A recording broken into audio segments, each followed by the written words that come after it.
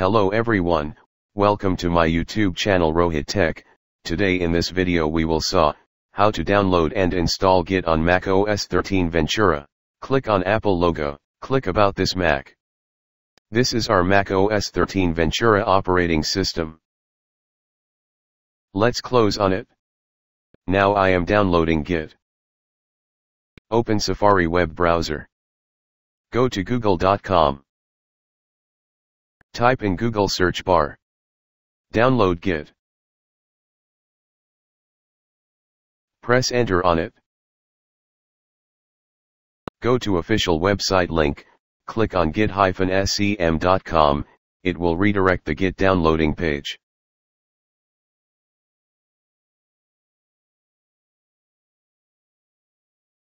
Git latest source release 2.38.1. Click download for Mac.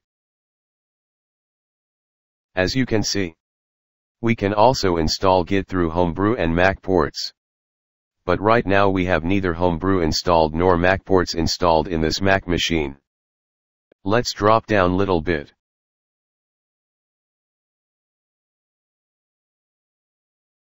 You can see the binary installer here. Here we can see Git installer on GUI mode. But its version is a bit old, about a year old, for the time being I will install the GUI installer only. Click on installer.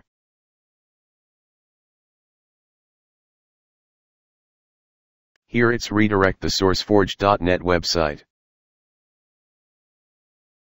Click on download.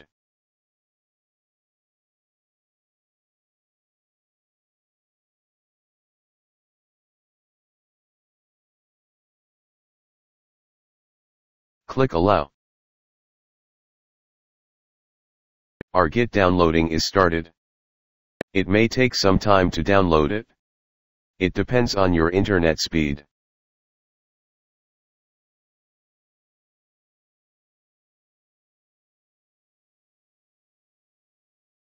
Our Git is downloaded. Let's close web browser.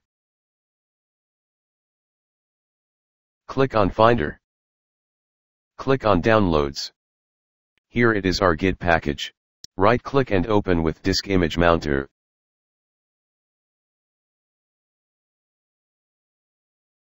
Right click on Git Installer, open with Installer. As you can see the warning, Mac OS cannot verify the developer of Git, are you sure you want to open it? Ignore this warning. Click on Open. Welcome page of Git installer. Click on Continue. Click on Install. Required admin user password to install Git, Rohit is admin user on this Mac machine. Type password of Rohit user. Click Install software.